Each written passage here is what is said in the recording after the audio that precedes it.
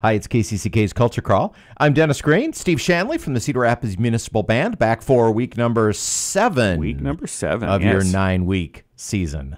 Yes, always a good one. Week seven usually coincides with the jazz camp. That's so. right. So we are.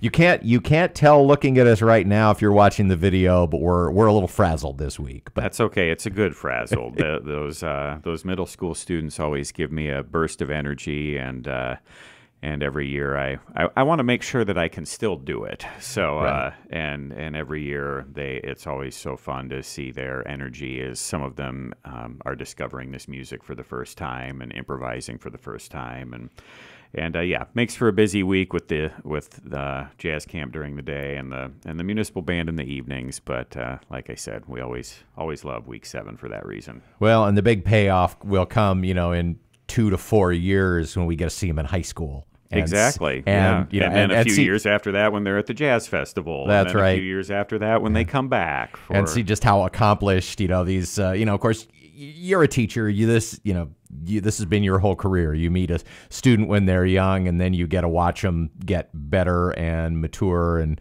uh, into a great player and a great person. But I don't think you ever get tired of that. You don't. And I will say, yes, I was very fortunate to to teach and work with students in the classroom setting at, at a school. But there is something for every student about leaving their comfort zone of their school and their you know, quote unquote normal teacher and going to one of these camps that is really much I, I, hate to say it much more of a life-changing experience in that way just kind of getting them away maybe from either uh, all of their friends or maybe maybe just getting them away from that teacher or you know getting away from me and being at a camp with another teacher just helps spark some interest so it's a it's a really cool thing I think the camp and and and the students meeting people from different schools and forging those relationships and those relationships forever. last too. I mean, yeah. we often see students later on at things like the Corridor Jazz Project reconnect. Exactly. Uh, yeah. When they when they met in jazz band camp. Okay, so jazz band camp is going on, uh, but so is the municipal band. And what is on tap for this week? Packed week. We've got lots of guest soloists this week. Chris Haas, who uh, has been uh, in the area now for a little while and plays uh, with uh, Orchestra Iowa and uh, and lives in North Liberty and teaches. Um, just a wonderful, wonderful trumpet player, and one of those every every few years something just falls in my lap. And a few years ago, it was Chris Haas. Uh, and he came and subbed in the group, and I realized, oh my goodness, he's really good. We're just going to go ahead and figure out a way to keep him involved uh, as much as we can. So he became a permanent member, and uh, excited to feature him with the band uh, for this first time. And it's on a, a Herbert Clarke um, piece, and he wrote lots of flashy cornet solos that have been sort of uh, borrowed by euphonium and, and trombone players over the years uh, for the Sousa band and, and played with the Sousa band. So uh, this is called Stars Under a Velvety Sky, which uh, Chris I don't think had played before, and, and I was not familiar with either. But uh, everyone's going to love it. It's it's really cool, very very impressive. Shows off Chris's beautiful sound and technique nicely. And then uh, also, I thought, okay, it's been, let's see, I've been doing this 12 years or 13 years now.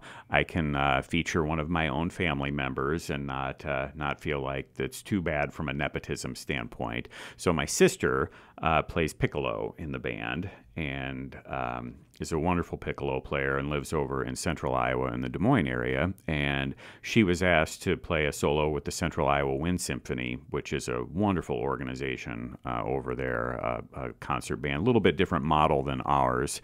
Uh, and she uh, asked me if I had any recommendations for a piece that would go together quickly to feature the piccolo. And I said, Yep, I got a perfect one. I used it a few years ago and they did that. And I thought, okay, well, if this other group that is conducted and run by someone who is not her brother asked her to play a feature, then I can I can do the same. So excited to feature her on a on a cool piccolo polka that I think everyone's going to a love a piccolo. Wait a second, piccolo polka. You, you, may have buried the lead here. Yeah, a piccolo polka. There can't be that many piccolo polkas.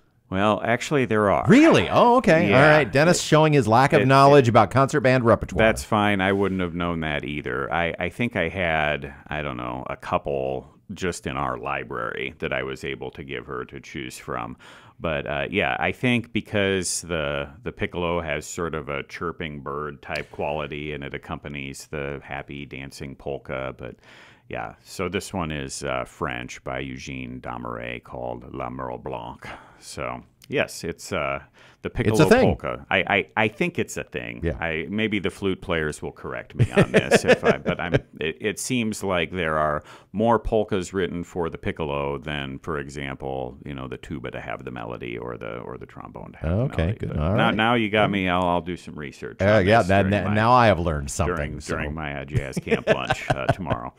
Um, and then we have uh, the Young Artist Competition every spring, and this year, uh, as usual, an outstanding slate. Over 20 high school musicians auditioned, and uh, we had a couple runners up who are performing with the band, and we've got one of those this week, Christian Maakestad, who played uh, guitar in the North Corridor All Stars uh, at the Jazz Festival. Wonderful guitar player, but also a very, very fine uh, percussionist and fine composer. Perform uh, wrote a piece that Aaron Nuss programmed. Uh, with the band when he was subbing for me during the first week of the municipal band season.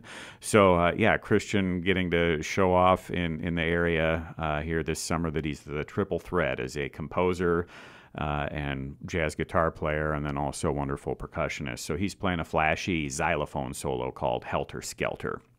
Uh, is that the Helter Skelter that we know? It is not the Helter Okay. Skelter that you and I know from, from the White Album. No, uh, it's uh, that that would be that would be an interesting concert band arrangement. It would. I'm not sure how that would work, but yeah, uh, there were in the in the early 1900s. There was uh, kind of like I think piccolo polkas. Uh, people realized that xylophone, short xylophone features were fun for the audience. So there's a number of those, and this uh, this falls in that category. Uh, we've also got some music from Wicked, which I was kind of going through the library and realized we had never performed a medley of music from Wicked. And I don't know, is that still popular? Uh, yeah, I think it's I, The music is still the, the music is still great. Yeah, Uh, so I yeah. I don't know where the where it stands in terms of touring shows or Broadway revivals yeah, or anything I'm, like that. well, I, I'm kind of programming it as an experiment to see if any middle school or high school kids come up afterwards and say, "Thanks for playing that. That's that's my favorite." You know, everybody we performed Phantom of the Opera a, a few weeks ago, and everybody still knows that repertoire, even though it, it's quite old. So I'm I'm hopeful that people are still recognizing. Uh, Wicked. The the piece that I am certain everyone is going to recognize, however, is the Raiders of the Lost Ark medley. So that new uh, new Indiana Jones New movie. Indiana it's time to trot out Raiders So- of the Lost so- Ark. And you know me, I don't need a lot of excuse to program some John Williams music. So, and that one is great. And I encourage people. We uh, rewatched this. My wife and I introduced the kids to it uh, a couple of weeks ago, and and uh, Marion's theme is so great. And I turned to her and I said, I, I had totally forgotten about that. And that is in this medley. So you're going to hear the famous Raiders March, which is kind of in two parts. Interestingly, when John Williams played that for Spielberg at the piano, he said, Well, I've got this idea for a march for Indiana Jones and this idea for a march. And Spielberg loved them both. He said, I want them both. So they he uh, Williams combined the two. So you'll recognize both of those, but uh, listen for the for the Marion theme as well, the Marion Ravenwood theme, because that is absolutely wonderful. Where are we this week? We are at Cleveland Park, which we were at earlier this summer during week two and had a great crowd. We're in a slightly different location at Cleveland in front instead of kind of behind the school. So uh, check that out. That's going to work. Uh, you're going to love it. And we love being over in that part of the town.